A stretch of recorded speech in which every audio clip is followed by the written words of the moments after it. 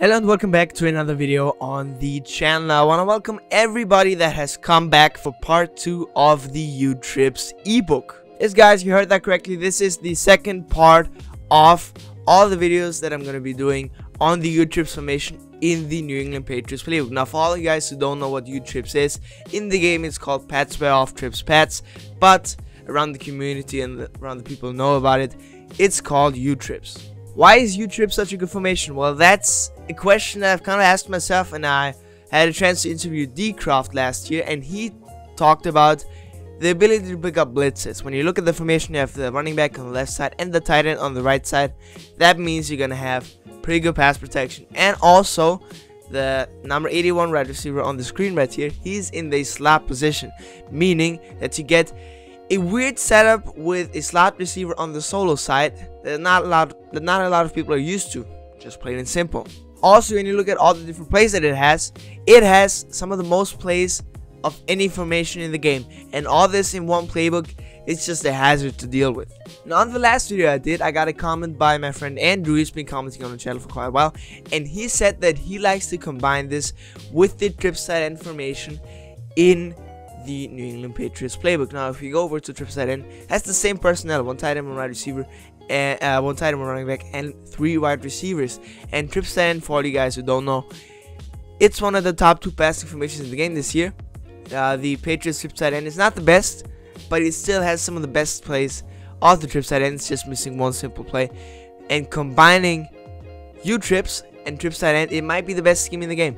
Now, luckily for you guys, I already did a trip side and breakdown earlier this year. I'm gonna put it in a card up above and in the link in the description. Make sure to check that out to get the full doses of the trips offense in the Patriots playbook. But without further ado, I now want to talk about a glitch that I'm using to get a running back in a tight end because I just like a faster running back or a faster play in a tight end. And in regular teams there are not that many fast tight ends. So what you do is you make sure you go to the fullback wing package. You can do that by flicking the right stick right here. So there you go fullback wing package. And make sure in the depth chart you have a running back in at fullback number one. That means that the running back is then going to be substituted in. I showed that in the last video more in depth.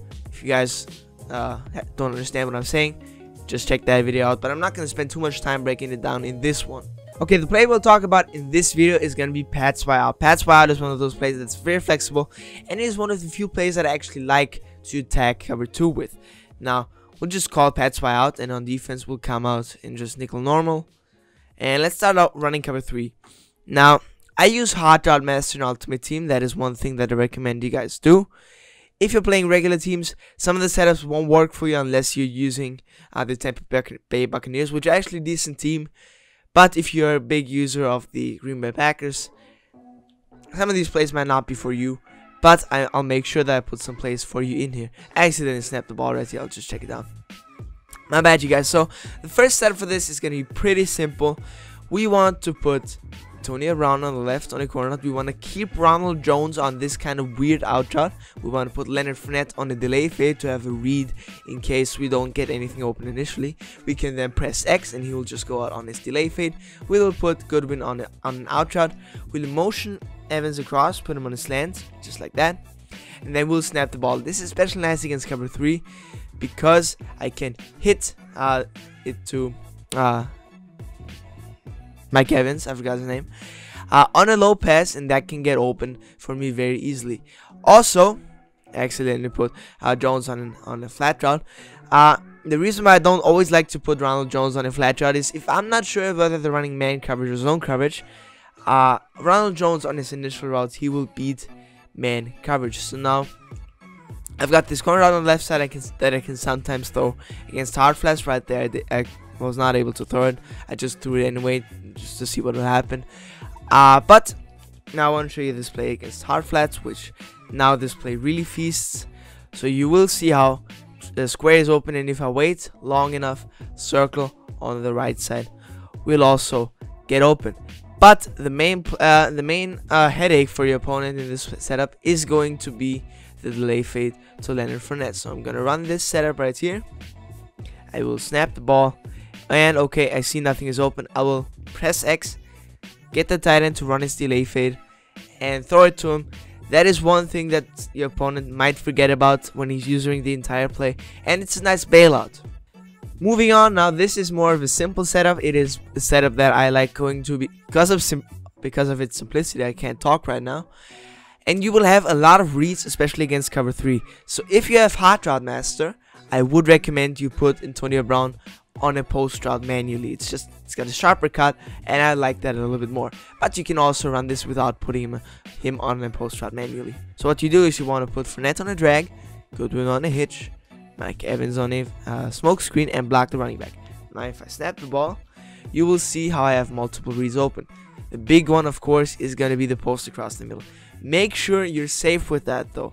You want to check it down to the drag, to the hitch, uh, so that your opponent is going to pay attention uh, to the drags and, the and then behind that the post will get open. Be careful throwing that drag late. That was just in time a little bit later and that's a pick six.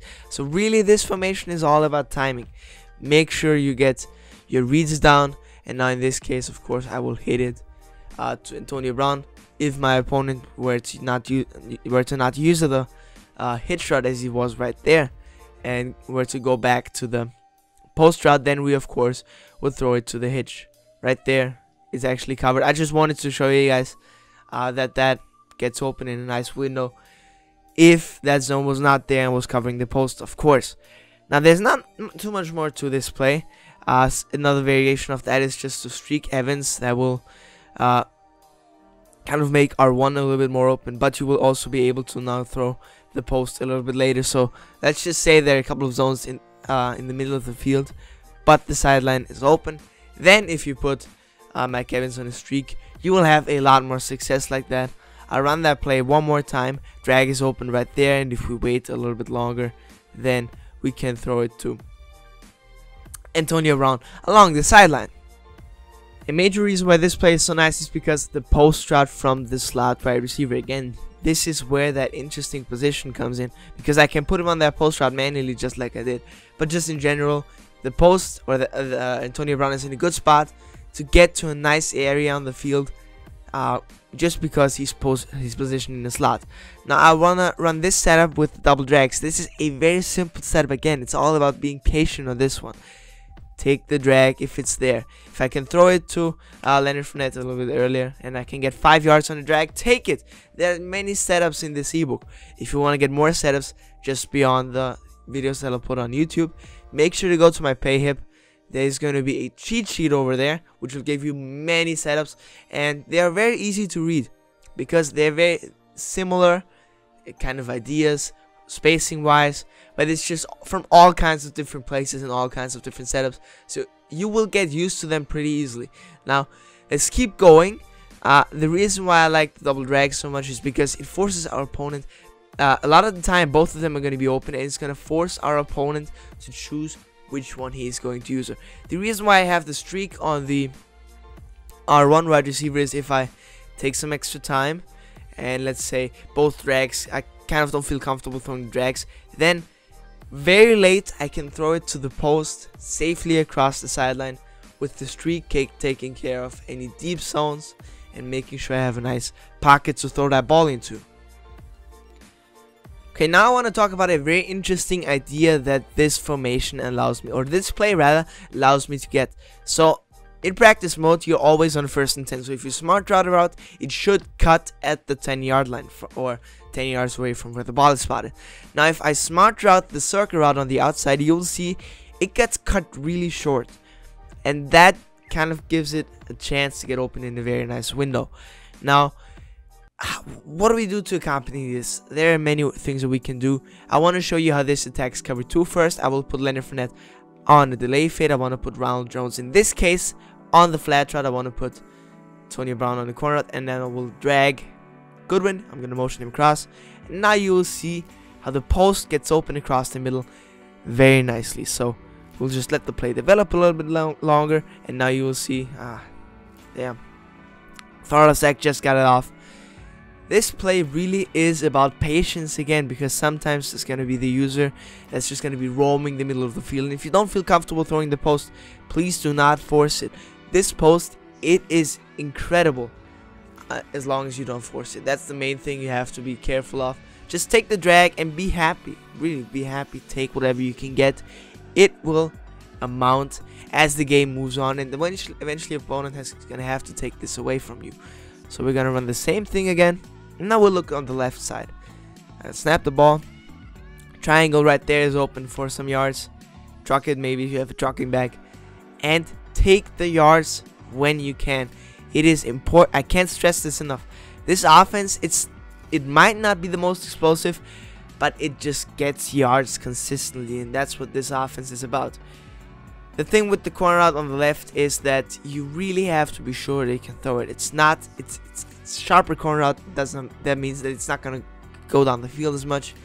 That means trouble if you want to force it. There is a way of beating cover 2 with the corner out on the left though, and that is to just motion across this post. On the backside, you can do whatever you want. I like to go with the drag and the hitch. I will snap the ball right here, and again, it make it's important you guys are careful with that corner out. you have to drag wide open if you can let the play develop a little bit longer and you have enough time in the pocket then the zone that's covering the corner out as you saw right there the cover two flat zone it's gonna drop down just make sure you take the time and really wait until, until you see it open. If you feel like you're getting shredded just dump it off to the drag. It's the simplest thing in the world. But I want you guys to know that there, that, that there are ways to be covered too deep with this play. You just have to make sure to never force it because this offense is just I want to say it's not about forcing not you can't force balls in any offense but this one especially is so effective you just if you just take every single drag that's there and you're gonna drive your opponents insane now in this last step with beat cover 2 we will take advantage of that player in the slot Again, I said it at the beginning of the video. This is your money player. You want to put Antonio Brown on a curl. You want to put uh, Jones on a flat on a wheel route, and then you want to smart route Evans just for the fun of it. Now you're gonna snap the ball, and I want you to watch uh, the wheel route. You saw how that flat route really reacted intensely to the curl route. That opened up a window for the wheel route to get open behind it. This only works if the player is or if the curl route is in the slot position meaning that this is pretty exclusive to this formation in bunch you could do it by motioning in the outside receiver into the slot on the left but that takes time and this is just so I, I put two hot routes on the field and I will absolutely burn every single person running cover 2 on me now that being said there is a way to avoid this uh, if you have zone drops on. I sim I'm simula uh, I'm simulating it uh, by putting uh, play sticks on the field. And now you see how we're not really gonna react that long to the to the car route, but now that the uh, the, the zone is not gonna play as deep if it's at 10 yards or at 5 yards, we will now have a chance to throw that wheel route over top of the uh, the cloud flat because it's just gonna stay at that 10 yard 10 yard depth. So this play really is a headache against cover 2 it doesn't work against cover 3 sadly. So make sure you get your opponent to run cover 2 first. But if your opponent runs cover 2 you can absolutely burn them with this play now that's all I have for you guys today. I hope you enjoyed it. I hope you learned something. If you have any questions, of course, you can let me know in the comments below. Also, make sure to check out my social media. Also in the description below. If you have any questions, you can just DM me on Twitter. You can DM me on Instagram. My DMs should be open. If not, just tweet at me and I'll uh, accept you as a friend. Hope you guys enjoyed this one. Hope you guys learned something. As always, make sure to stay safe. Hope to see you in the next video. And until next time, goodbye, guys.